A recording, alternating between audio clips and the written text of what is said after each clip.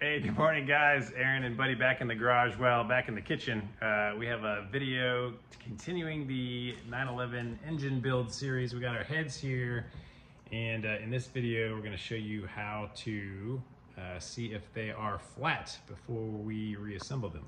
So I ordered this thing off of Amazon. I'll put a link in the description. It's essentially just a big flat edge that is accurate down to the like one one hundredth of an inch. One one thousandth. One thousandth of an inch. Yes. Yeah. So uh, just opened it up.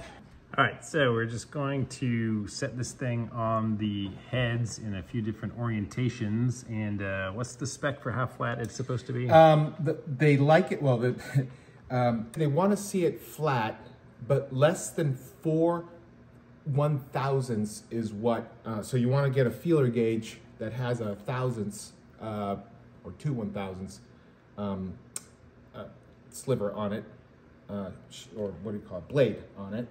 Uh, but one easy way that DIYers can do is just, you know, pull a flashlight on it and see if there's any light, any significant amount of light. You focus on that area. So that's a quick and easy way. So we're gonna go turn on our light on this head.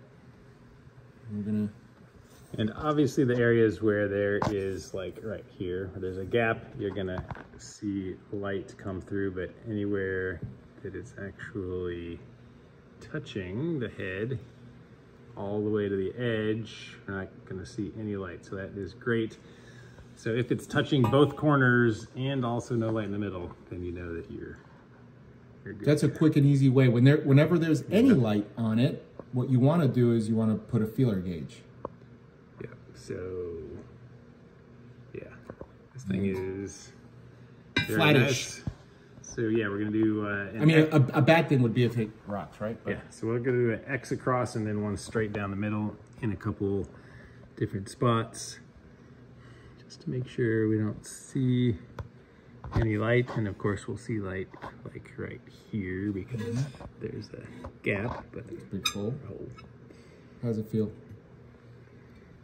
It is looking perfect to me.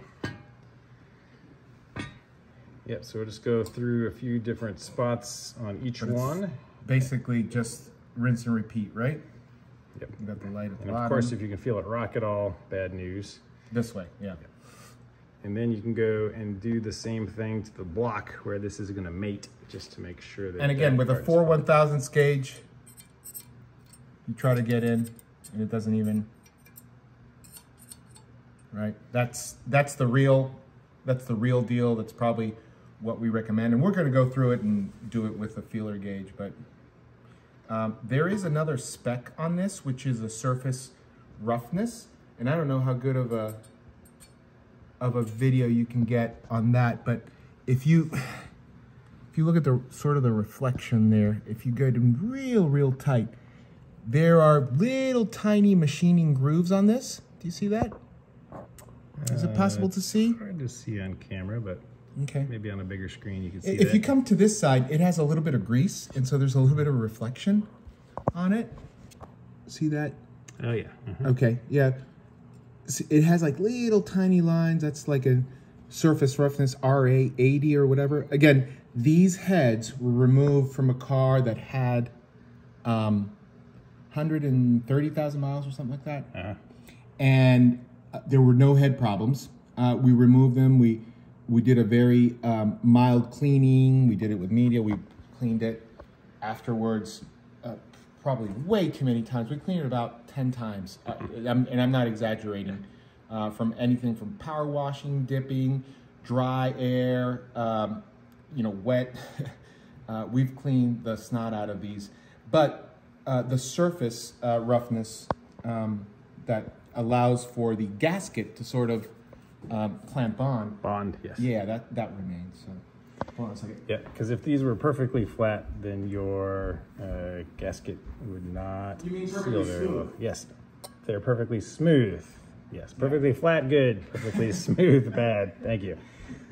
Uh, uh, yes, so you, you want a little bit of texture so that you have something to bond to.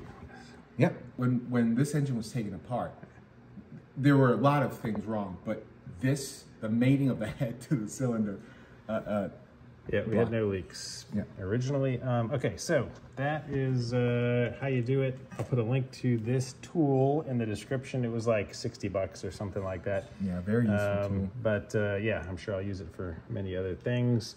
It came in, FYI, this tube to keep it protected with that top. And if anybody has a better recommendation other than smashing a hole in it and prying it off, let me know. But That, that was the most difficult part of yeah, this job. yeah. The most Uh, difficult part was getting it out of this tube.